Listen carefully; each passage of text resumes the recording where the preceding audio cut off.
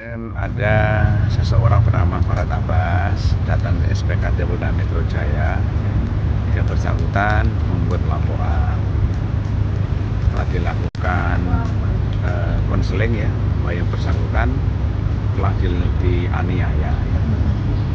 Jadi dianiaya pada saat ada program di salah satu TV swasta. Ada TV ya, ada TV. Itu program ya setelah jam 9 pagi lah. Ya. Di sana ada bahwa yang bersangkutan didorong, kemudian dianiaya sehingga dada dan tangan merasa sakit. Ya, kan? nah kemudian tentunya eh, sudah dilaporkan nanti kita melakukan penyelidikan di situ.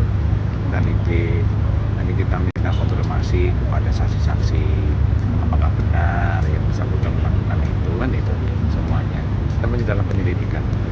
Kita tunggu aja nanti penyidik kan membutuhkan waktu nggak mungkin kita mengundang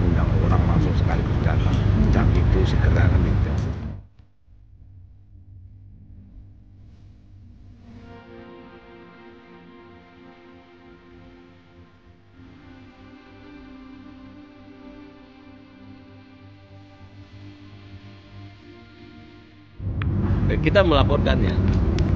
Hanya saya melihat Angel terlalu membela suaminya, bahkan mempermalukan eh, dari Ibu Bibi waktu itu. Jadi terkesan saya me, saya mengapa namanya?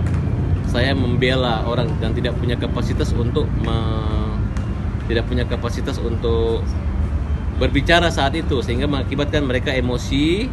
Nah, kemudian karena mereka emosi, akhirnya eh, mereka menyerang, memukul, eh, mengeroyok, menghina, mencaci itu yang terjadi. Mereka tidak menyangka bahwa itu merupakan sebenarnya dengan menantang berantem, menantang itu pun ya tapi saya anggap mereka masih tidak mengerti, tidak paham dengan pasal-pasal pidana yang bisa membuat mereka terjerumus dalam satu persoalan yang sebenarnya merugikan orang lain tapi lebih merugikan diri sendiri karena mereka harus dipanggil-panggil dan mengikuti proses sidang sampai dihukum nanti.